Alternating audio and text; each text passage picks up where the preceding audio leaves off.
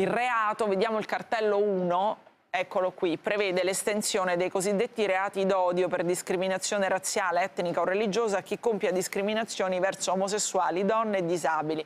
Vado da Marina Terragni, eh, poi c'è naturalmente un capitolo che riguarda le pene, carcere da sei mesi a quattro anni per chi istiga a commettere o commette violenza, le discriminazioni omofobe viene estesa, questo è il cartello 2, un aggravante che aumenta la pena fino alla metà e poi c'è in questo testo, naturalmente è più lungo e più complesso di questo, questa è ovviamente una sintesi, cartello 3, il testo prevede una clausola che fa salve la libera espressione di convincimenti o d'opinioni nonché le condotte legittime riconducibili al pluralismo delle idee.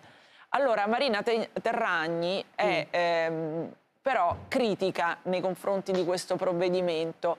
Eh, critica ci dice naturalmente perché, ma ehm, nel senso che sarebbe meglio fermarlo e riscriverlo come eh, la Lega si accinge a fare perché eh, presenterà una nuova proposta che potrebbe poi bloccare l'iter, questo poi lo vediamo con i nostri ospiti politici, ma le chiedo, eh, intanto ti chiedo Marina, eh, se, perché non va bene questo testo?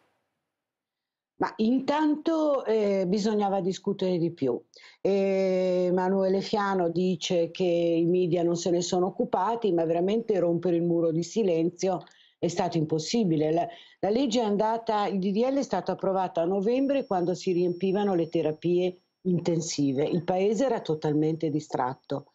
Ma dato che questa legge va a toccare dei temi non sensibili, sensibilissimi, è proprio necessario che si accompagni con un dibattito molto ampio che coinvolga tutta la società, perché di, di, per esempio del divorzio, dell'aborto, della fecondazione assistita abbiamo discusso per anni.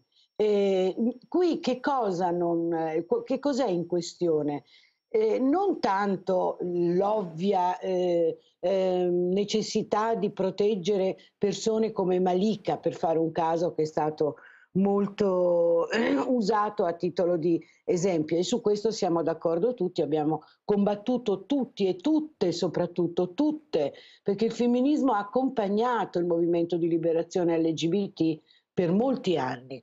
Qui eh, il tema su cui c'è una mobilitazione mondiale è quello dell'identità di genere ed è effettivamente come dire, il cuore, il nucleo vero di questa legge su questo tema, eh, ieri sera sentivo la professoressa Braidotti sulla vostra rete e lei parlava di post-umanesimo. Eh, allora, su, se dobbiamo entrare nel post-umanesimo e il portone principale è questo dell'identità di genere, poi casomai spieghiamo perché abbiamo fatto un sondaggio su questo tema in crowdfunding che è pubblicato oggi sulla stampa, se noi dobbiamo entrare nel post-umanesimo, bisogna che ne discutiamo, perché qui andiamo veramente a toccare le radici dell'umano. Ci sono leggi in Europa contro l'omotransfobia eh, che non, si, non, non fanno tranquillamente a meno di questo concetto dell'identità di genere e, e si combatte dappertutto, in Spagna, in Germania, perché questa identità di genere entri a far parte del patrimonio legislativo. Per esempio l'Inghilterra, che è stata la pioniera da questo punto di vista, dopo anni e anni di dibattito pubblico ha chiuso totalmente con il cosiddetto self-ID l'identità di genere e ha chiuso con i corsi nelle scuole e, e, e quindi direi, cioè io quando sento Monica Cirinna dire discutiamo, anzi quasi discutete pure eh, il testo non si tocca, io rimango un pochino impressionata. Ma che, cosa, ricorda... vorrei, che cosa, vorresti che fosse modificato in, nel testo?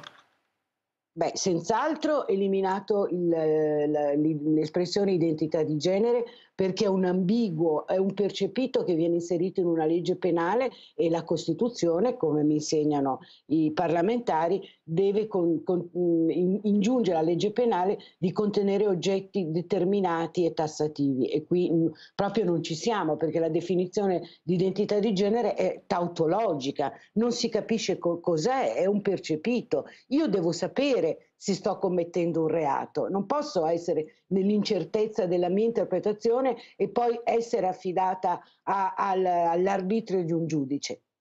Poi ci sono altre questioni, Per esempio vorremmo capire per quale ragione un genitore non deve poter scegliere se mandare un ragazzino minore a questi corsi nelle scuole dove non si parla più di, di amori omosessuali o, si, o, non si fanno più vedere film eh, appunto tipo la, la, la, adesso non mi ricordo insomma questi film eh, sugli amori omosessuali perché i ragazzi da questo punto di vista sono scafatissimi eh, conoscono Tommaso Zorzi è un loro mito Malgioglio è un loro mito. Si parla fondamentalmente di due temi eh, carriera alias, identità di genere, cambio di sesso eh, e utero in affitto. Questi sono i temi che vengono portati oggi nelle scuole, oggi nelle scuole.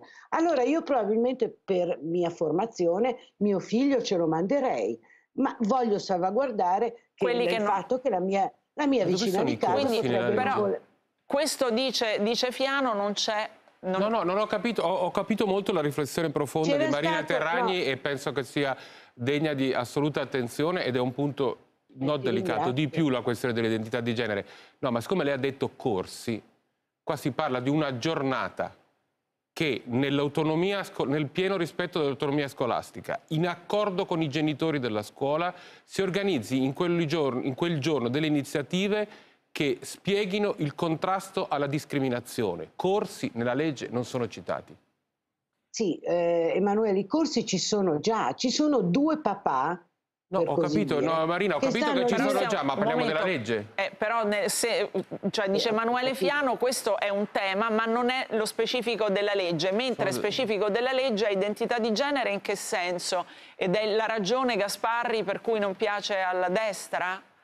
No, posso aggiungere ah, solo sì. un altro sì, un momento. Allora, allora, facciamo fare velocemente Marina Terragni, poi Gasparri. Sì, no, velocissimo, un altro tema che vorrei citare è quello della misoginia, che è stata infilata, mi dicono, per iniziativa di donne del PD e non si capisce perché, secondo me perché sentivano un po' rumoreggiare intorno a questa legge, perché noi sono, ripeto, mesi che lavoriamo e anni che studiamo questi temi, ma purtroppo non abbiamo avuto ascolto, perché Zan l'abbiamo interpellato almeno 30 volte, non, non abbiamo avuto nemmeno risposta. Cirinnano ne parliamo. Ora, eh, la questione della misoginia, noi non possiamo eh, noi non abbiamo nessun movimento gruppo eh, ha mai chiesto una legge sulla misoginia in Italia non perché il problema non ci sia direi che l'emergenza numero uno dal punto di vista della violenza ma perché non crediamo che la strada sia quella, perché è un problema di civiltà, non è un problema